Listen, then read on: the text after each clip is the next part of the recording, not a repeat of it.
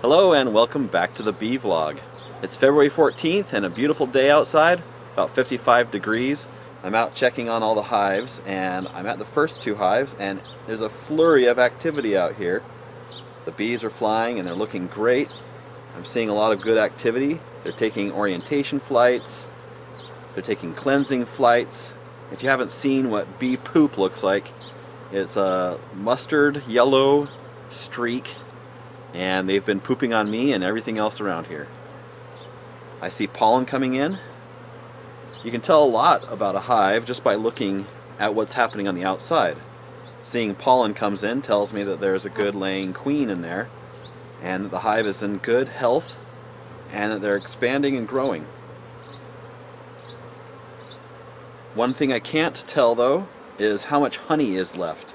Even though they've survived the winter and they're looking great, if they are low on honey, it's going to be a couple months before there's a good nectar supply available for them. So I'm going to be checking the weights today to make sure they've still got good honey stores. Because if they're low, they could still die in the early spring without a good nectar flow. There are a couple ways to check the weight of a hive. You can just grab it from the back and heft it. Doesn't feel too heavy, doesn't feel really light either.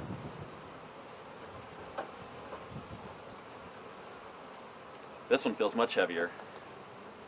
Or you can get a scale and measure it. Wow, it only weighs 28 pounds.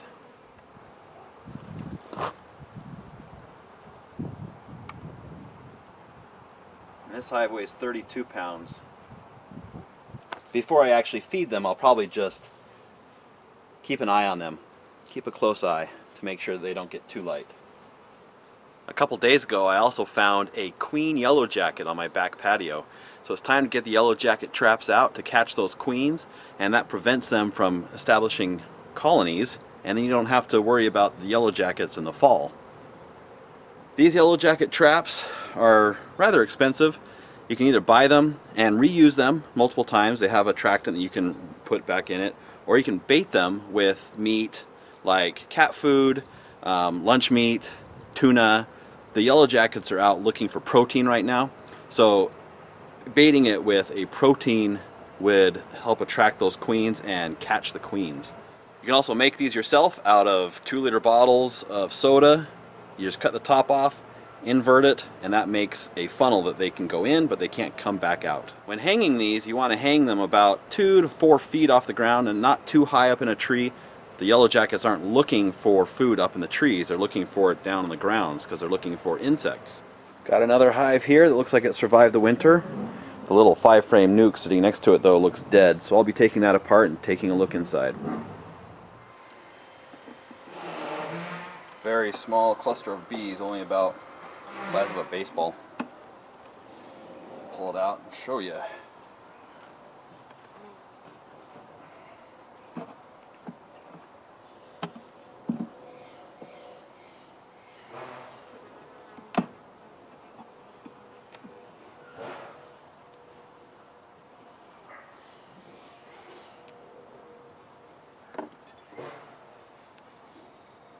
Smaller than a baseball, maybe the size of a golf ball. You can see that they were clustered on a frame of honey, so this is not a case of starvation. They just weren't able to maintain their temperature and they died.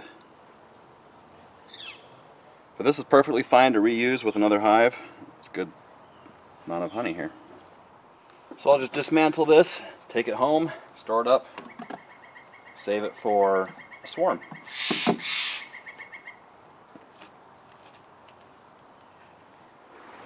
I've got two five frame nucs at this location that are alive. This third one is dead.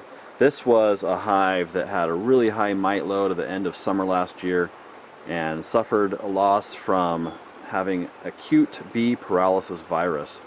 And they really lost a lot of their numbers in the early fall I shrunk them down to this little nuc box here, but it looks like they didn't make it through the winter. Taking a look at the entrance of this hive, you can see there's a quite a bit of bee poop all over the outside of it. This might have been a case of dysentery, but they seem to be healthy and good. They're bringing in a lot of pollen, there's a lot of activity. So maybe they got over it. Might have just been a case of dysentery from being cooped up for too long over the winter.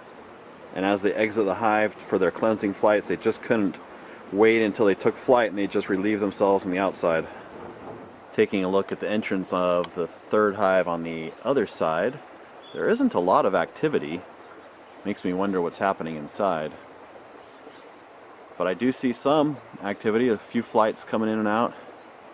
They're mostly using the upper entrance that's tucked in under the lid up there. So I'm going to undo the strap, heft the hives and see how heavy they are. And I'll be dismantling that dead out over there.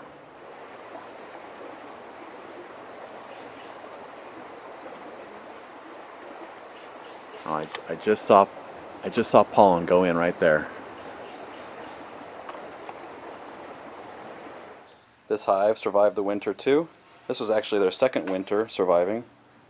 There's just not a lot of activity out front right now, but they're in there and they're working. I see pollen coming in from time to time.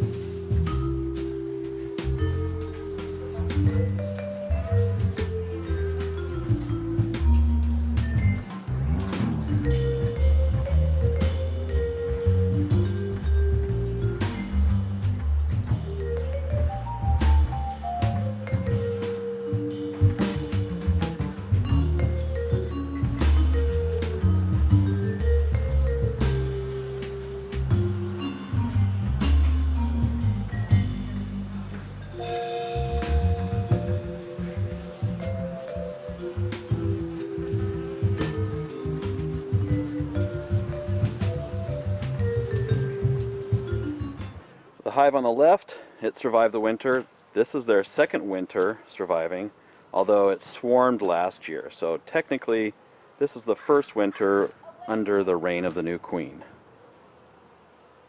The hive on the right, they're dead. A few weeks ago I saw this hive robbing out that hive. So I know they're dead. So I'll be dismantling that nuc today. But the hive on the left, this is Queen Elizabeth II. They look like they're doing great. I see a lot of pollen coming in and a lot of activity. Although they too have that poop staining on the front of the hive. They may have had a case of dysentery and just got over it. While I was dismantling this nuc, I discovered that they were still in the process of robbing it out. Saw a small cluster of bees in there and it looked like, perhaps, there was a small living cluster, but it was actually just robbers. The way to tell the difference is looking at the comb, it's really chewed up and, you know, crummy. There's lots of, you know, literally crumbs of wax left behind that if a hive was living here and eating the honey, they'd do it in a very neat and clean way. But robbers just take and they leave a mess behind. I can show another frame.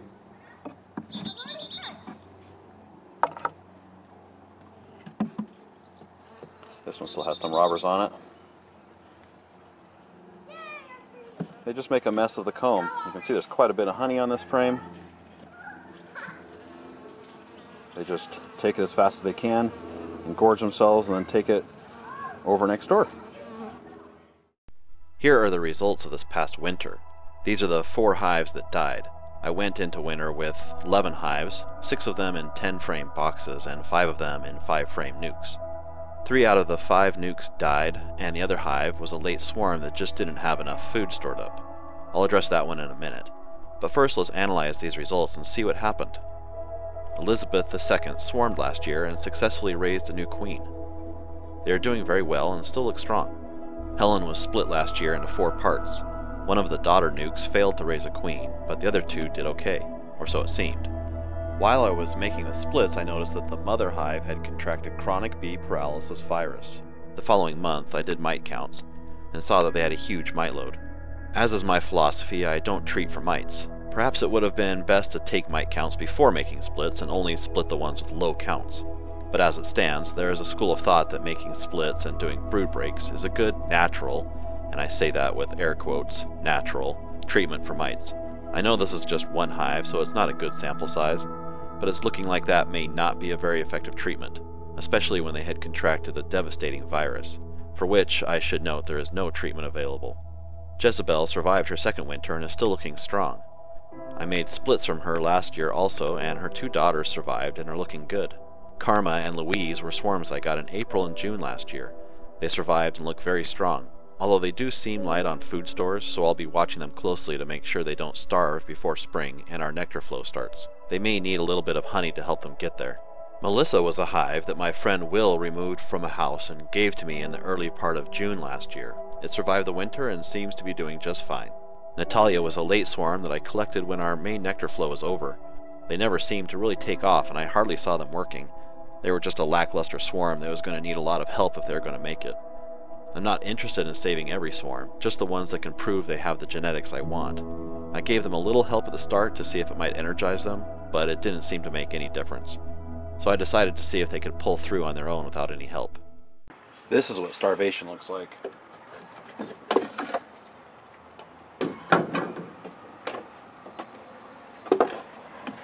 Not a speck of honey anywhere in the hive.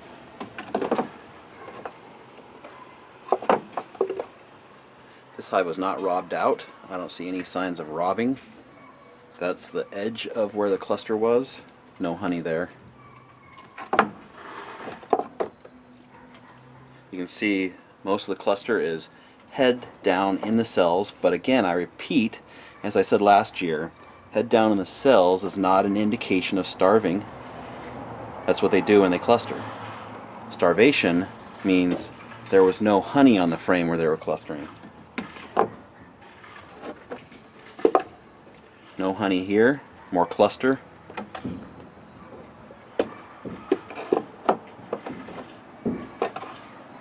No honey on this frame, no cluster either. There's a little bit of mold. That mold is okay. I'll use this comb again with another hive and they'll clean it up. No honey.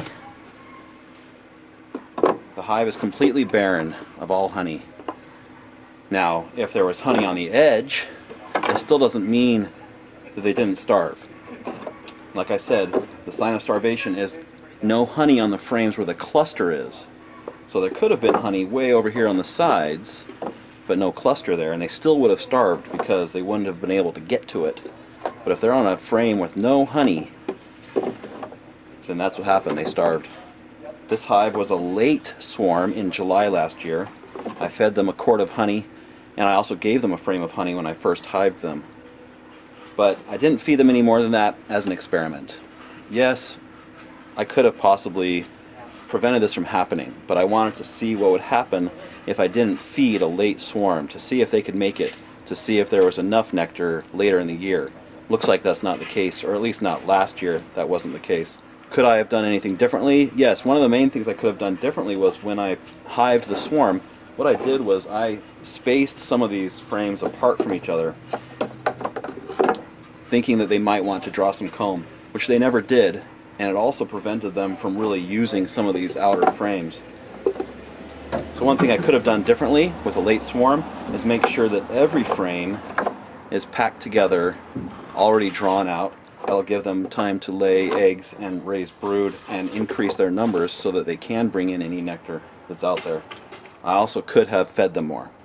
So one thing to learn, late swarms in Portland don't get enough nectar to survive the winters. Well, I'm pretty happy with these results. 64% survival rate. That's not what I'd call excellent, but considering three of the losses would have actually been a single loss if I hadn't split it, that's really not bad either. I'm linking in at the end here the video where I made these splits and discovered the chronic bee paralysis virus. You can see what that looks like with the hairless, trembling body, difficulty walking, and inability to fly. Compare that to a regular fuzzy bee that walks with more energy and just looks so much more healthy. Thanks for watching and I'll see you later.